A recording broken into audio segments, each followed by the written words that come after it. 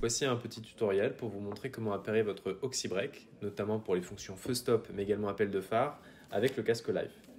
Pour cela, vous allez appuyer une fois sur le bouton pour l'allumer, et une fois qu'il est allumé, vous allez rappuyer de nouveau sur le bouton power jusqu'à ce que la petite LED au centre se mette à clignoter de couleur orange. Une fois que c'est fait, vous allez effectuer la même manipulation en appuyant sur le bouton situé sur le dessus de l'oxybreak et en restant appuyé jusqu'à ce qu'il se mette à clignoter également orange. Lorsque les deux produits clignotent orange, ils vont s'appairer automatiquement, rien de plus à faire. Désormais, vous pouvez simplement rallumer votre casque et lancer la fonction feu stop en appuyant sur le détecteur et la fonction appel de phare en appuyant sur le bouton de l'oxybreak. Merci à tous et si vous cherchez d'autres tutoriels ou d'autres produits innovants, n'hésitez pas à jeter un œil à overhead.com.